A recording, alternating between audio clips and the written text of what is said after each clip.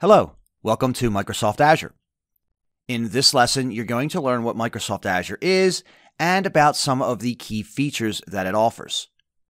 Azure is Microsoft's cloud computing platform. Organizations use it to build, deploy, and manage applications and services. It's hosted by a global network of Microsoft managed data centers. Leveraging Microsoft Azure allows organizations to deploy solutions that at one time took months to deploy in just days or weeks. While Microsoft Azure offers over 100 different services, some are more important than others. Azure Active Directory, for example, is used for identity management and access control for cloud applications and resources. You can even synchronize Azure AD with traditional on prem Active Directory domain controllers.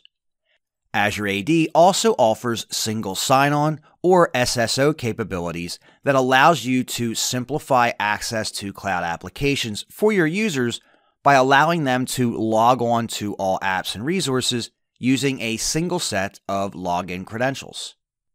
Azure Information Protection, or AIP, is an offering that allows organizations to use encryption, identity, and authorization policies to protect their sensitive information. Azure Backup can be used to backup machines to the cloud and to restore from the cloud. The Azure Content Delivery Network allows organizations to provide content to its users regardless of their location in the world through a network of global data centers. The purpose of the Content Delivery Network is to allow delivery of this content with low latency and high availability. Azure Key Vault is used to protect and manage keys, certificates, and other secrets in the cloud. These secrets can be protected using hardware security modules or HSMs. Multi factor authentication is another key offering available through Microsoft Azure. It allows you to configure multiple methods of authentication, which helps prevent unauthorized access to not only cloud applications, but also to on prem apps. Virtual machines and virtual networks are two of the staples of Microsoft Azure.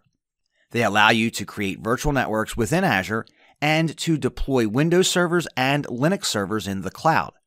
And it allows you to connect them to your virtual networks. Your virtual networks can then be connected to on prem networks through VPN connections.